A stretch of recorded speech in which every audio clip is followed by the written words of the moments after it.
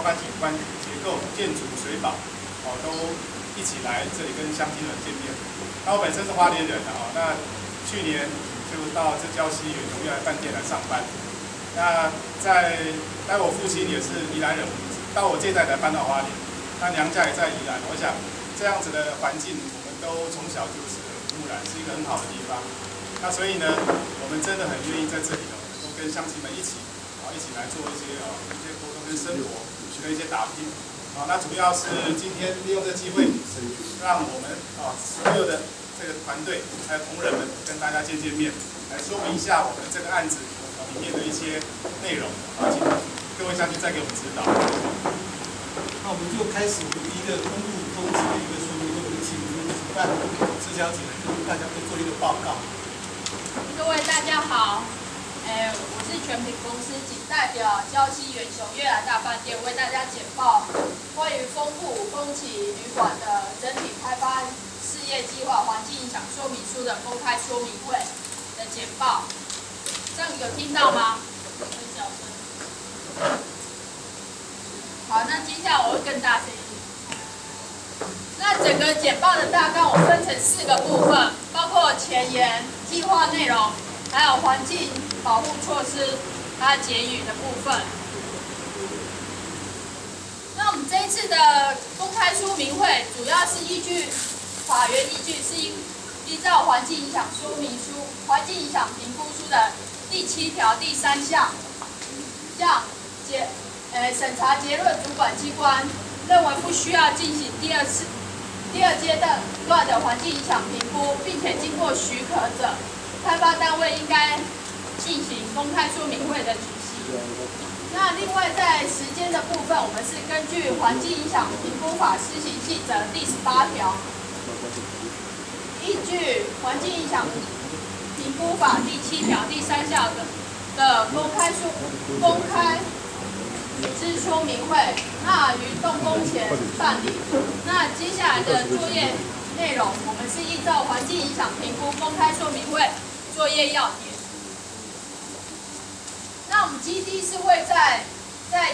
宜兰县礁溪乡，那基地面积是七千五百二十四点四八平方公尺，它是位于五峰路侧，那未来就是经由一二连接台九线。那我们这个基地未来是做旅馆，主要的那个建筑物，我们是地上六层，地下两层的那个五十间的客房。那我们的建筑面积是一千五百一十一点八四平方米，容积率是在七十八点九二 percent。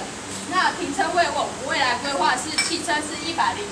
三席，机车五十席，大型车是一席。那目前的工程的话，我们是预计施工二十六个月。在景观规划的部分，在道路旁还有绿化绿化面积，因为机能的不同，我们。种植不同的树木，在道路旁的话，主要是以引导为为方向，所以我们种植榉木、青枫还有樟树。那绿化绿化空间的部分的话，我们主要是做视觉焦点的部分，所以我们种植野姜花，然后山樱花等等的树木。那在我们基地未来施工及营运期间，我们提出了几项的保。环境保护措施，那包括在空气品质施工期间的话，我们会堆如果有临时堆置物的话，我们会给予覆盖或者是定时洒水。那运输车辆的话，我们会以防尘塑胶布或防布遮盖，然后避免那个空气污染的排放量。那在营运期间的话，垃圾暂存场的话，我们会定期的清洗。还有消毒，那污水处理厂我们也会定期的维护保养，那会有防止臭味的产生。那未来的话，我们也会鼓励旅客来这里的旅客能够搭乘大众交通工具。那在噪音震动的部分的话，施工及营运期间，施工期间的话，我们在计划区的周检，我们会设置施工的绿围篱。那我们会请厂商能够选择低噪音，防止防止高噪音的机具同时的同时的作业。那施工机具跟运输车辆的话，我们会定期的维护保养。那在营运期间的话，我们会设置绿化的缓冲区，然后改善路面的状况，然后执行噪音及震动的监测计划。那另外在水质的部分的话，我们在基地的周围的话，我们会设置导沟，将地表径流的废水经由滞洪沉沙池沉沙之后，我们才并且定期的清理。那我们会确实做好的防灾措施跟排水的措施。那生活污水的部分的话，我们会合请合格的清运业者帮我们代为清运。那在营运期间的话，我们会做到雨水、中水的回收，然后回收后的水我们会作为浇灌跟其他的杂杂排水使用。那生活污水的话，我们会经由污水处理厂进行处理。那在废弃物的部分的话，我们会定期的实施垃圾分类，然后并且委托合格的清理业者帮忙清运，然后做好基地周围的环境卫生的管理工作。那在营运的话，废弃物我们会做好垃圾分类，并且委托合格的清除处理机构定期清运。那我们也会将提送废弃物清理计划书给环保局。那在生态的部分的话，我们会在车辆的进出沿线及工区内，我们如果有裸露地的话，我们会洒水抑制扬尘，改善植被的健康。那另外在营运期间的话，我们会绿化的植栽，我们是先以当地的环境先驱物种加以植被恢复，并且加强水土保持的工作。那在交通部分的话，在施工期间、例假日还有学生上下课的时候，我们会严禁严禁那个施工车辆的通行。然后另外在土方运送的期间，我们会派专人在路口进行指挥。那在营运期间的话，我们配合宜兰县低碳城市的推动计划，那我们会设置电动的接驳车。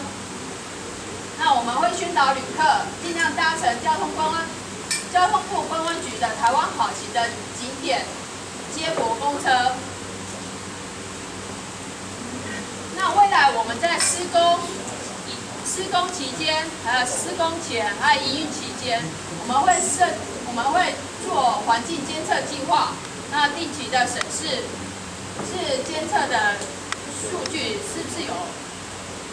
合格，如果并且依照这监测的数字进行一些改善措施。最后，我们这个案子已经经过了呃许多的审查，那未来我们会依照这些审查合格的内容，我们会切实的办理，那努力执行各项的环境保护承诺。并且确实的执行环境保护对策，减轻开发所产生的环境冲击。那，诶，接下来如果诶居民有什么意见的话，诶，欢迎可以打公司电话或者是 email 给我们。谢谢各位。那我想这个以上是我们大致上的一个简报的一个。有关公土区公渠医馆的一个开发的一个概况的内容啊，那接下来是不是各位啊乡亲、各位朋友，那如果有什么样的一个意见，啊，我们可以提出来，啊，我们也会把这个意见啊做成会议记录。